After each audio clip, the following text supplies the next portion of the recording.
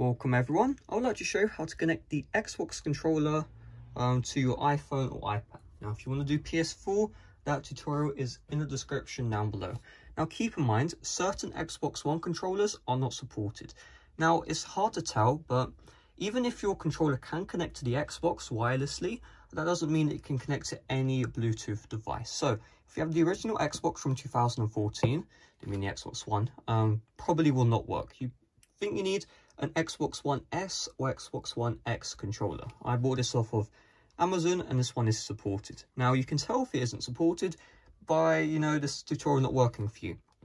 So first of all, I'm going to um, forget the uh, connection. There we go, forget device. And we're going to start from scratch. First of all, let's check if we are supported. Go to General, inside the settings, then About. If you're running iOS 13 or iOS 14, you are supported. If you're running iOS 12 and older, you can try, but it, you, your controller will not connect because um, Apple can't uh, recognize those connections currently.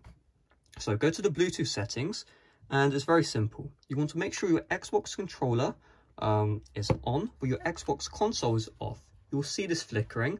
You're just going to hold this button down and you can see right here, other devices, Xbox wireless controller. Tap on this and it should connect you. Now, for some reason, this controller is a bit glitched usually when you hold this down, instead of the um, thing showing a black screen, instead it will actually, um, it will start flickering really quickly. Um, so Xbox is great because it says pairing unsuccessful. So we'll tap on OK, and this is a bit finicky. So we'll turn on the controller again, and we'll try again.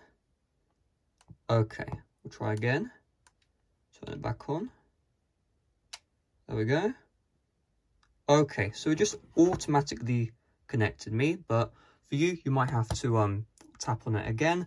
Make sure you know hold this down, um, and then there you go. You should be good to go. So that's a really quick tutorial on how to connect the Xbox One controller to um, your iPhone and iPad. Hopefully you enjoyed. Leave a thumbs if you did. Bye-bye.